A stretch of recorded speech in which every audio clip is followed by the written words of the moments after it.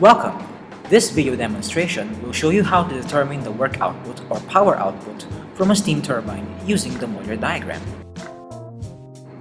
At the end of this demonstration, you should be able to do the following five objectives. You should be able to define some common terminologies associated with the Mollier diagram. You must get familiarized with the purpose of the Mollier diagram Understand the relevant equations used to calculate the power and work done of a steam turbine. How to read the Mollier diagram. And lastly, you will be introduced to a work example to further enhance your understanding of the Mollier diagram. So let us start, shall we? First, definitions of terminologies. What is enthalpy and entropy? Enthalpy is the measure of total energy in a thermodynamic system. Entropy is the measure of the microscopic disorder of a substance.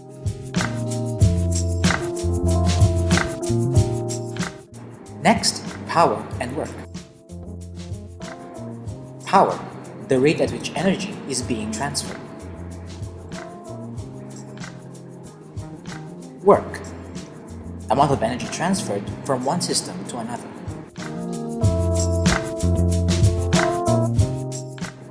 Isoenthalpic and isoentropic. An isoenthalpic system is a system where enthalpy is constant. On the other hand, an isoentropic system is a system where entropy is constant.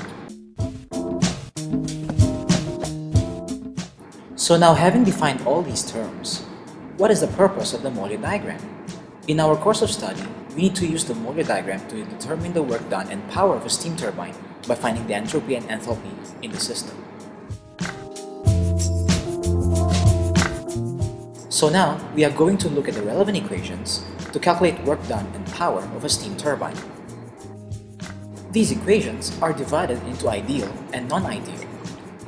Ideal equations are ones that deal with 100% steam turbine efficiency. On the other hand, non-ideal equations deal with a certain percentage of efficiency.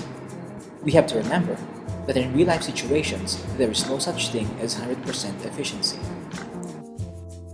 As you can see from the table, for an isoentropic system, the equations for ideal and non-ideal are similar.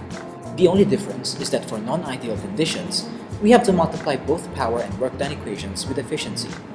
As for an isoenthalpic system, the enthalpy at the inlet and the exhaust is essentially constant for both ideal and non-ideal conditions. As a result, the power and work done for both systems is zero. In the equation, H represents enthalpy.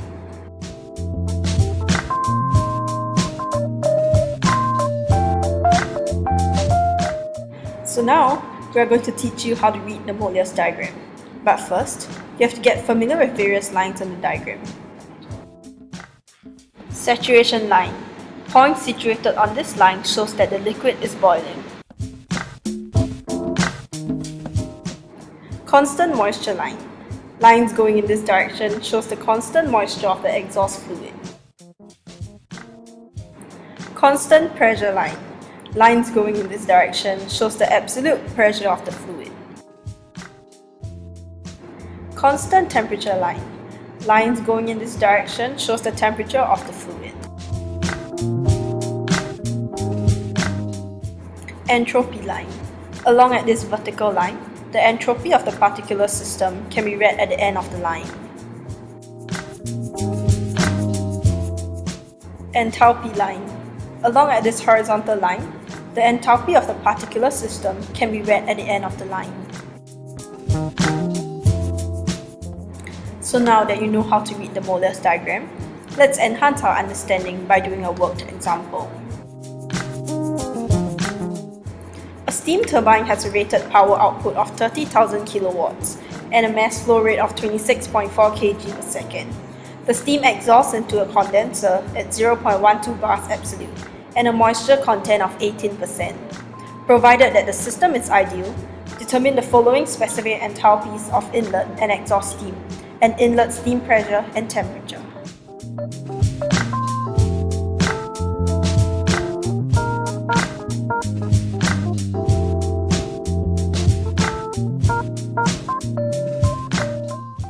It is always a good step to write down all the parameters given in the question, followed by the relevant equations.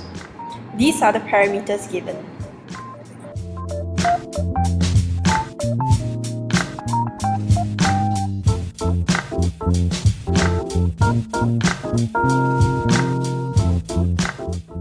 In this particular question, we have to write down the equation for power. We know that power is a product of mass flow rate, the difference in enthalpy, and the efficiency. Since it is given that the system is ideal, then the efficiency will have a value of 1. Given that the power is 30,000 kilowatts and the mass flow rate is 26.4 kg per second, we can use the equation for power to find the difference in enthalpy which turns out to be 1136 kilojoules per kg. We also know that the exhaust pressure is 0.12 bars and the constant moisture is 18%. Using all this information, we can now use the Mollier diagram. For each parameter, trace and highlight the lines of given parameters. From the intersection point, draw a horizontal line to determine the exhaust enthalpy which turns out to be 2160 kilojoules per kg.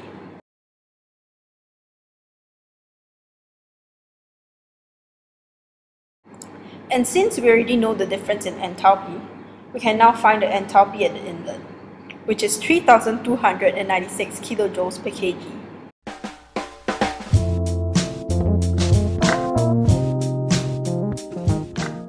And now, we're left with finding the inlet steam pressure and temperature. We can do this by finding the entropy. In this particular case, the system is isoentropic. This means that the entropy at the inlet is the same as the entropy at the exhaust. Referring back to the Mollier diagram, since the system is isoentropic, we would need to draw a vertical line at the intersection to determine the entropy of the system. In this case, the entropy is 6.7 kilojoules per kg Kelvin. Highlight the enthalpy line at 3296 kilojoules per kg, which is the inlet enthalpy. At the intersection, highlight the temperature line and pressure line.